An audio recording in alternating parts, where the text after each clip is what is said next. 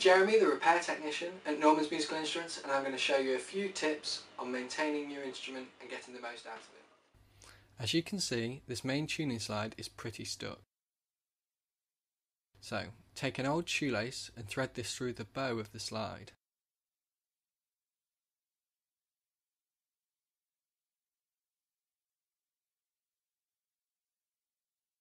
First off, try gently pulling on the shoelace.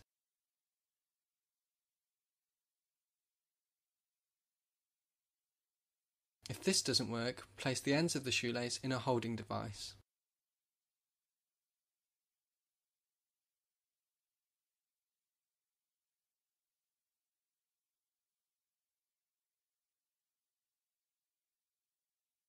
Pull gently as to not damage the instrument and it should just pull out.